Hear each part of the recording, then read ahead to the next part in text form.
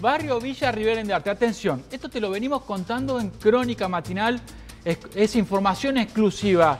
El dirigente y puntero político Luis Bani fue detenido por una decisión tomada por el fiscal Enrique Gavier de delitos complejos.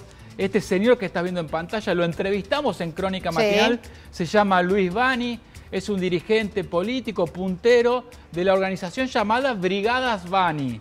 Brigadas Bani que han estado con todos, ¿eh? estuvieron con Martí, estuvieron con intendentes peronistas, también vinculados a Luis Juez y Daniel Giacomino, luego con Ramón Mestre, las Brigadas Bani. La cuestión es que más de 20 familias corrían riesgo de ser desalojadas. Te lo contamos varias veces en móvil en vivo con Sergio Antoniazzi en barrio Villa Rivera Indarte.